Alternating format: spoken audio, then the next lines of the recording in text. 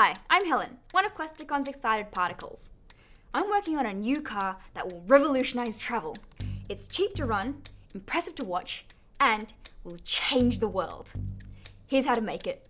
You'll need some sticky tape, a balloon, a piece of cardboard with two straws stuck on with sticky tape, two bamboo skewers, a rubber band, a bendy straw with the long part cut off, and four plastic lids that will be the wheels. I've already made some holes in these lids, so the bamboo skewers just fit through. And these will be the axles of the car. Put the skewer through the straw like this, and attach the wheels. Do this for the other side as well. Play around with it to make sure the wheels are straight. And now it's time for my revolutionary engine. Ta-da! It doesn't look like much, but the fuel's free. So attach your balloon to the bendy straw with a rubber band. There we go, just like that.